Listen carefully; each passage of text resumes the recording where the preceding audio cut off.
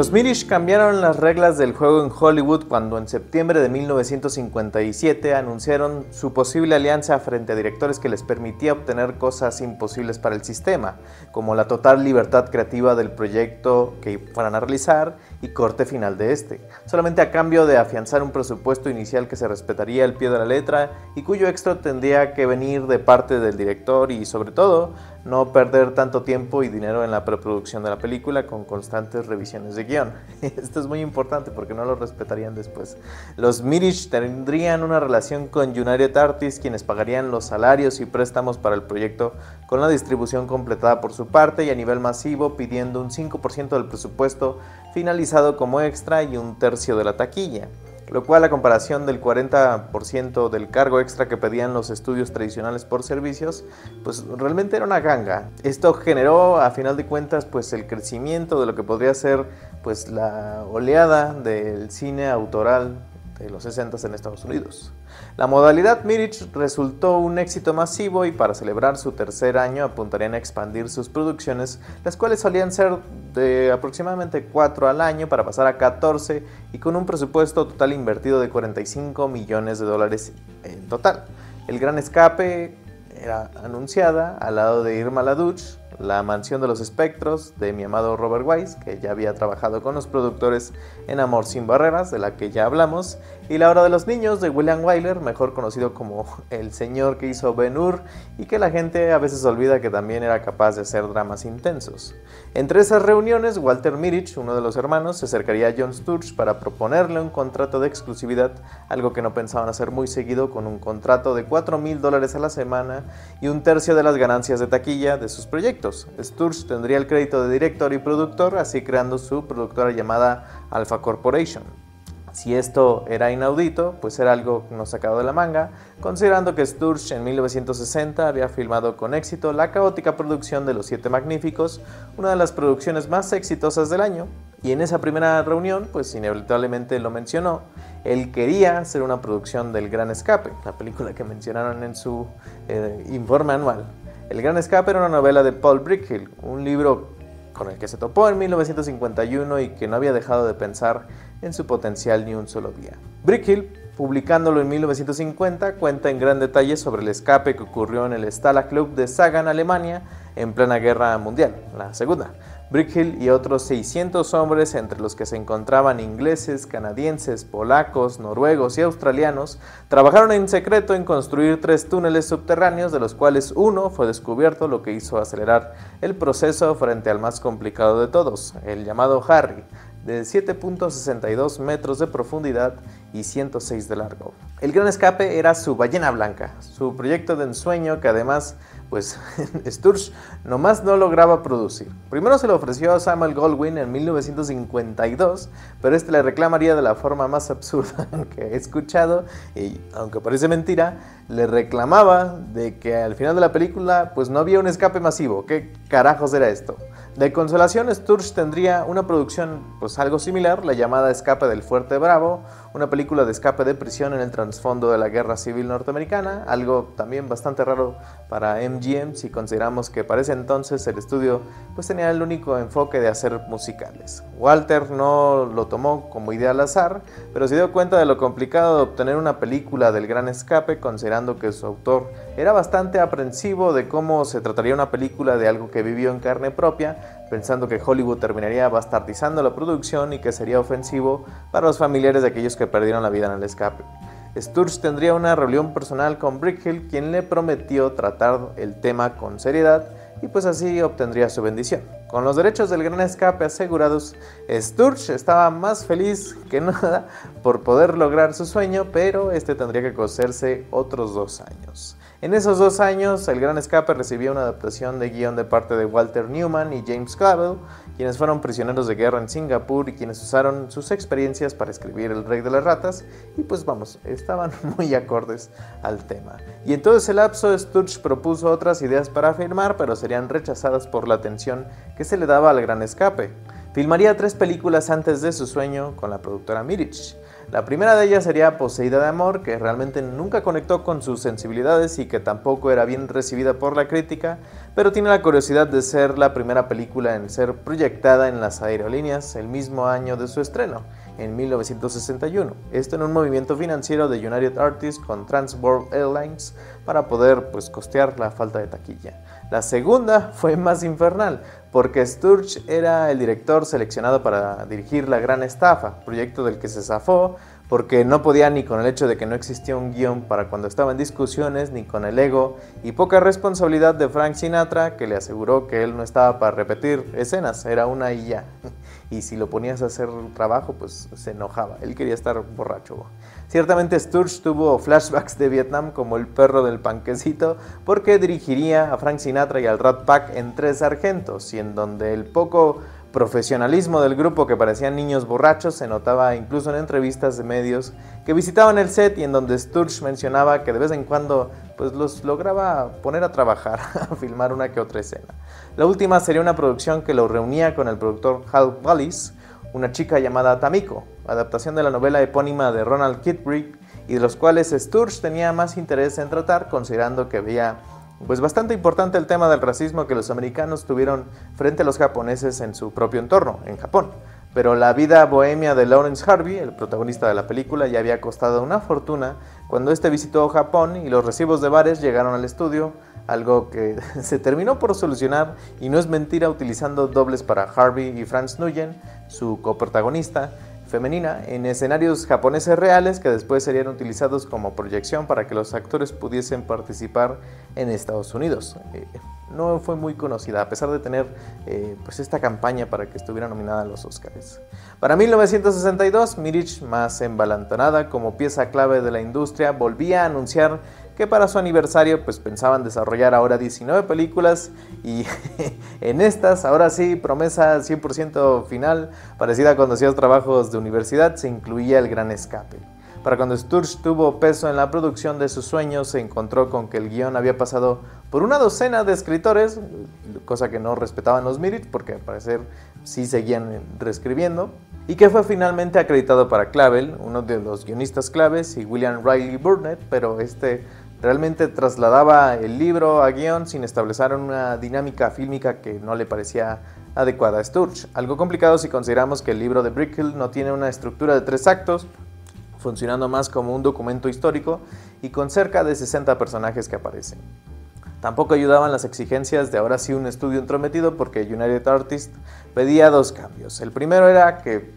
pues todos los protagonistas eran ingleses, necesitarían personajes americanos para poder vender la película a las audiencias locales. La segunda era que se quejaban de que esta sería una película imposible de vender por la falta de personajes femeninos. Y yo me pregunto, United Artists, ¿no, sabes cómo funcionaban los campos de concentración y cómo funcionaba eh, eh, la guerra en la Segunda Guerra Mundial? Válgame, qué ignorantes. El Gran Escape fue una de las películas favoritas de mi papá. Una que recuerdo era de esos imanes paternales. Ustedes saben, de esos que cuando se encuentran cambiando el canal y llega una escena de la película, pues se queda pegado y la ve entera. Mi papá hacía eso con El Gran Escape y fue una que además pues solíamos ver en familia. Algo que podría parecer trillado y fuera de sentido crítico, pero que incluso ayer que la volví a revisar en la madrugada me resultó imposible despegarme de la pantalla hasta su término, y les recuerdo que dura tres horas. Entonces me quedé pensando, ¿por qué tiene ese efecto? Pues en realidad son muchos eh, valores. Primero habría que establecer que El Gran Escape como producto bélico no tiene el interés de volverse una película que denuncia la guerra, porque hay un tono ligero y podría decirse fársico en torno al tratamiento de prisioneros en los campos de concentración, cuando evidentemente ya había entendimiento de las condiciones de estos por parte de los alemanes. Y si bien es un idealismo soso que no se atrevería a postular un visionado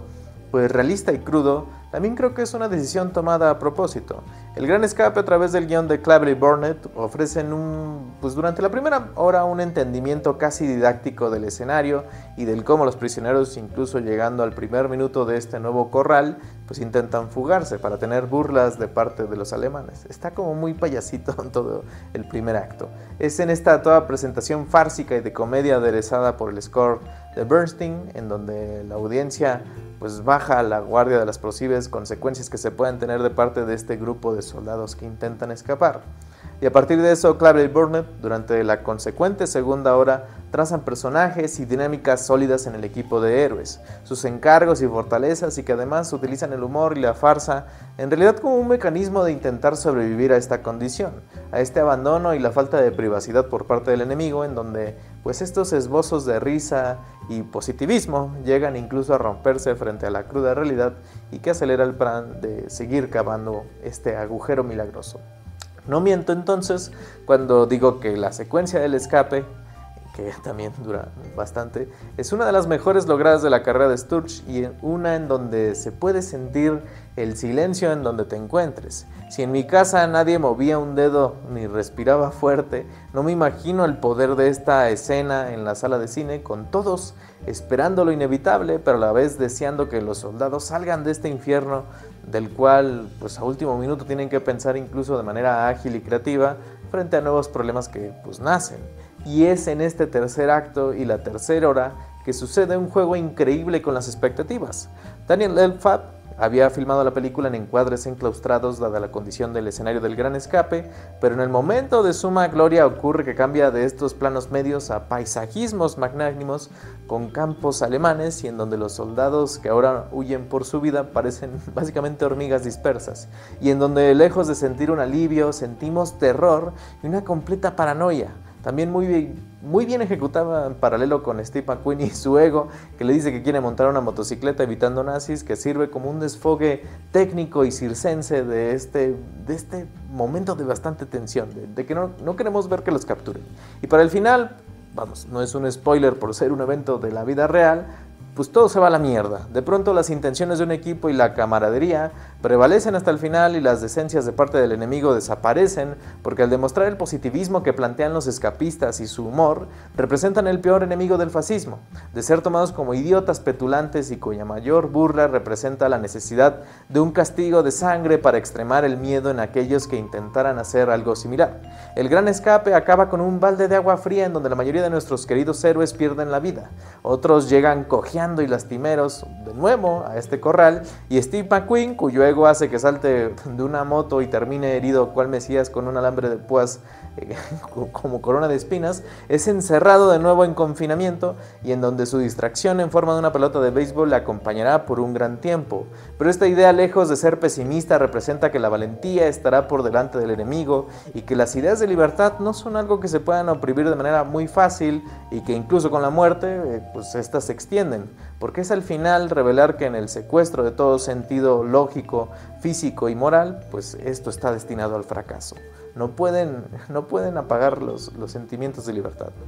Y esta es una gran película en donde todo el cast hace una dinámica de amistad que de verdad hace que nos preocupemos pues, por todos. Todos tenemos a nuestros favoritos y señalarlos sería obligatorio, pero si tuviese que elegir mis predilectos, más allá de Steve McQueen, que siempre me ha parecido bastante gracioso que aparezca como básicamente un extra que se volvió el icono de la película, que, que de forma metatextual lo ponen como parte de un equipo en un chantaje, algo que pasa con el personaje, quien decide apoyar el túnel de excavación y en la película, pues porque estaba dispuesto a abandonar la filmación por no sentirse totalmente el protagonista y pues tuvo que ser arriado para que le bajara de ego. No, mis favoritos se tratan de Hendley y Blight. Hendley, interpretado por James Garner, suda una sensualidad e inteligencia que los demás no tienen. Un héroe por antonomasía que encima de ser astuto y de tratar directamente con los nazis a través de intercambios, también termina en una relación de amistad con Hendley. Su completo opuesto interpretado por Donald Pleasant, el doctor que sale en Halloween. Hendley musculoso y apuesto y Blight tímido y de corpulencia desgastada, pues es en Blight y su inteligencia en donde encuentra un estímulo de amistad en el otro héroe de acción y que frente a la desgracia de perder la vista, algo pues bastante triste considerando que era un hombre dedicado a la fotografía, eh, Henry no lo deja atrás y se vuelve sus ojos y guía hasta las últimas consecuencias. Es bastante fuerte. Al término de una caótica producción, el corte final del gran escape eran de 5 horas que Sturge y su vital editor Ferris Webster tuvieron que editar pensando en la película como un producto especial de la época en donde pues, ponían estas fanfarrias de prólogos y también había medios tiempos, pero que los cines no estaban dispuestos a aceptar considerando las competencias directas de otras películas en esta modalidad, como Cleopatra, finalmente terminando para tres horas. Y para abril de 1963, El Gran Escape de John Sturge era presentada en Santa Mónica y en Beverly Hills, siendo un gran éxito con las audiencias que había en el previo y en donde el estudio volvió a tener miedo porque veían que si pues, eh, podía ser exitosa, pues lo que podían hacer era recortar la película para que tuviera menor duración y eso significaría tener más entradas. Y pues Sturge se hizo de los oídos sordos, ya estaba cansado. En junio el Gran Escape tendría su premiere en Londres en el Teatro Odeon Leicester con una proyección a beneficio de la Fuerza Aérea y con invitados de gala, que eran los sobrevivientes del Stella Club esta era la función más importante de la película porque si era rechazada por los personajes directos del evento, pues no habría salvación de malas críticas, pero estos terminarían encantados por sentir pues el espíritu del amor. Aunque se quejaron de Steve McQueen usando una moto porque dijeron, nadie, nadie conoció a alguien que tenía una moto. De regreso a Estados Unidos, El Gran Escape se perfilaba como la película del año y United Artists la promocionó como tal, ofreciendo una variedad de actividades con la gente que asistía a la película que honestamente suenan de completo mal gusto. Taquilleros disfrazados de soldados de la Fuerza Aérea heridos, un área infantil en donde los niños podían gatear en un túnel, tiendas disfrazadas de campos de concentración y guardias nazis con perros Doberman revisando las filas de las audiencias. ¿Qué tenían en la cabeza? Finalmente, el 4 de julio, El Gran Escape se estrenaba y las audiencias y críticas se dividían porque encontraban un producto de entretenimiento fascinante frente a la idea de los críticos que era una visión bastante sana de un conflicto que no llevaba mucho tiempo en haber sucedido. Independientemente de eso, El Gran Escape se volvería un hito de las audiencias, volviéndose la película número 10 de las más taquilleras de 1963 y a pesar de no estar nominada salvo el el mejor montaje, digo, Steve McQueen se enojaba porque no tenía un Oscar por estar saltando en moto, pues sí se volvería una de las películas más influyentes de nuestra historia moderna, en donde pues constantemente la tenemos como referencia y en donde incluso su tema musical pues es fácilmente reconocible. Es una de estas grandes películas de acción y de aventura que pues ciertamente está entre las mejores películas de papás. Eso fue todo, no se olviden de checar la cartelera cultural en Zona Franca, aquí están mis redes sociales. El Gran Escape es una película muy fácil de encontrar, creo que está en Amazon Prime y si no también está en su división de MGM. No sé cuándo van a hacer la absorción ya que pues Amazon compró el estudio de León, pero pues todavía como que te quieren cobrar un extra. Y pues si no es una película muy fácil de encontrar en Botadero, sí, pues sí, véanla y, y sí, estén atentos porque realmente es de esas cosas que te comen el tiempo y que realmente pues como que sientes que, tuviste un, gran reencuentro con algo fascinante, con una historia del cine. Y sobre todo ahora que pues existe esta historia alterna en donde pues el personaje de Rick Dalton de Leonardo DiCaprio pues interpretó al personaje de Steve McQueen, igual de estúpido y de ególatra, pero pues ah, ¿cómo los queremos? Nos vemos.